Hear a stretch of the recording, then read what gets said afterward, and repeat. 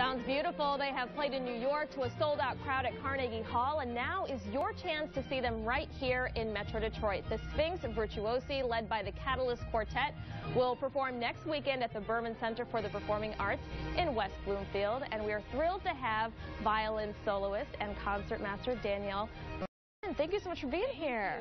All right, so tell us about Sphinx. What is it? Sphinx is an amazing organization based in Detroit that promotes diversity in classical music.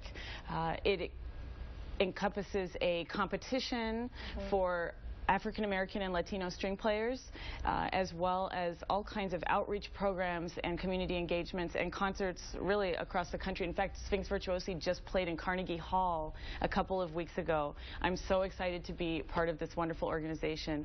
I was a winner of the competition in 2008, back when I was a student, uh, and it's done so much for me ever since, from performance opportunities uh, to uh, teaching opportunities, and now I'm actually actually new to the violin faculty at the University of Michigan, which oh, brought me to, to Michigan. I was going to say, this really must be a life-changing experience for you. It, Sphinx is amazing. The founder, Aaron Dworkin, started it about 15 years ago, and it has just blossomed and as you can see from some of the footage um, we have a, an incredibly talented and diverse group of kids from all over the country I say kids but young adults and even professionals that come together throughout the year uh, to to celebrate classical music and and the diversity of the talent that we have in this country is is amazing. How many people are part of the group?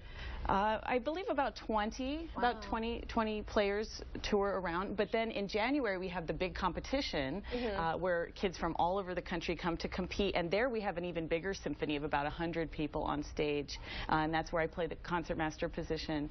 And this weekend at the Berman Center, I'm, I'm so honored to be actually soloing with the Sphinx Symphony, with the Sphinx Virtuosi at the Berman Center uh, this Saturday in West Bloomfield. Oh, that's terrific. And tell us uh, where people can find out information yes, about that. Berman.org. You can still buy tickets, and it's going to be a great concert with music ranging from Mozart to Vivaldi's Four Seasons, which everybody loves at the winter time, yeah. and even some um, contemporary music and music by one of my favorite composers, Astor Piazzolla, who wrote a variation on Vivaldi's Four Seasons. Oh, wow. Sounds incredible, and it sounds like such an incredible organization. So glad you're doing so well Thank with you. it. I'm so and honored. I want to stop talking because I want to hear you play. so what are you going to play for us? I'll play a little bit of the Vivaldi since everybody knows it and loves it. So this is uh, just a bit of Vivaldi's Winter from the Four Seasons.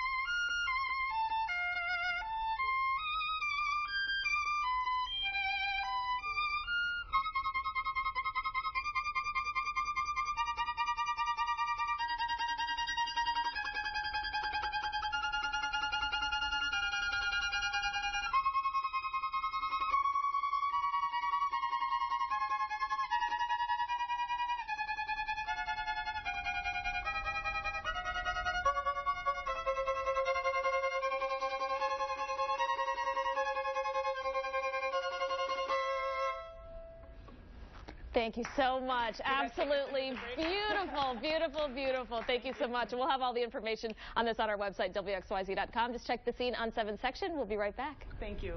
Thank you. Terrific.